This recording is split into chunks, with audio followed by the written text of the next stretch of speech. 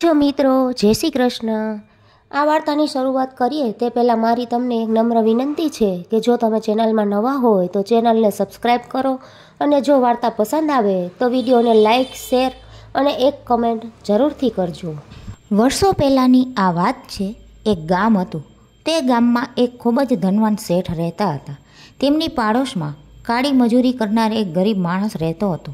આ ગરીબ માણસ અને તેની ઘરવાળી બધા મજૂરી કરે. મજૂરીમાંથી કમાય તેટલું વાપરે. સારું સારું ખાય. કામેથી સાંજે વહેલા આવી જાય. વાડું કરીને રાત્રે બંને માણસ ભજન ભક્તિ કરે. સવારે પણ ભજન કરે. પછી જ કામે જાય. સુખ, શાંતિ અને સંતોષવાળું જીવન જીવે. બીજી બાજુ આ ધનવાન શેઠને રઘવાટ બહુ. તેઓ સારું જમે પણ નહીં. પૈસા કમાવાનું જ એક તાન. તેમાંથી નવરાજ ન થાય. શેઠાણીએ એક દિવસ શેઠને કહ્યું જુઓ આપણા પાડોશી ગરીબ છે, થોડું રડે છે, પણ કેવું સુખી જીવન જીવે છે? સારું સારું ખાય છે, ભેગા બેસી ભજન ભક્તિ કરે છે. આપણી પાસે તો ઘણા બધા પૈસા છે, પણ તમને તો નિરાત જ નથી. આ સાંભળીને શેઠ બોલ્યા, એને નવાણુંનો ધક્કો લાગ્યો નથી, એટલે શાંતિથી રહે છે. શેઠાણીએ કહ્યું, નવાણુંનો ધક્કો? એટલે શું? શેઠે કહ્યું, હું તને પછી કહીશ. શેઠે રાત્રે નવ્વાણું રૂપિયા ભરેલી એક કોથળી આ ગરીબ માણસના ઘરમાં નાખી, વહેલી સવારે બંને જાગ્યા ત્યારે ઘરમાં કોથળી જોઈ. ઉગાડીને જોયું તો તેમાં રૂપિયા જોયા. બંનેએ રૂપિયા ગણવા માંડ્યા. તે નવ્વાણું થયા. તેમણે વિચાર્યું, આમાં એક રૂપિયો નાખીએ તો સો રૂપિયા પૂરા થઈ જાય. પછી તેઓ રૂપિયા બચાવવા વહેલા મજૂરીએ જતા રહે. રાત્રે મોડા આવે, થાક્યા પાક્યા સૂઈ જાય. તેઓએ ખાવા પીવામાં પણ કરકસર કરવા માંડી. થોડા દિવસે રૂપિયો બચ્યો એટલે તે કોથળીમાં નાખ્યો અને કહે, આ આપણી મરણ મૂડી મૂડી થઈ ગઈ. આમાંથી કંઈ ખાવાનું નહીં.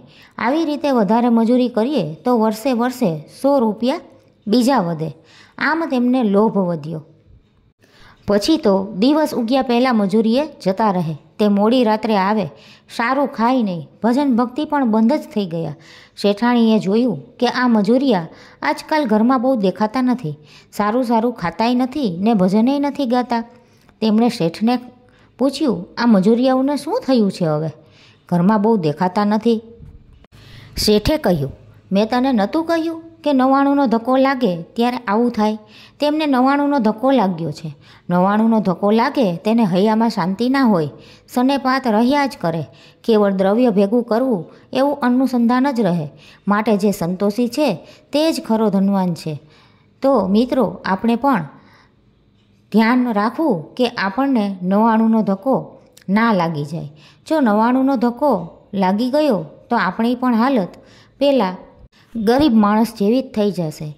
તો દોસ્તો, આજની સ્ટોરી તમને કેવી લાગે? તે જરૂરથી કોમેન્ટ કરીને મને કહેજો.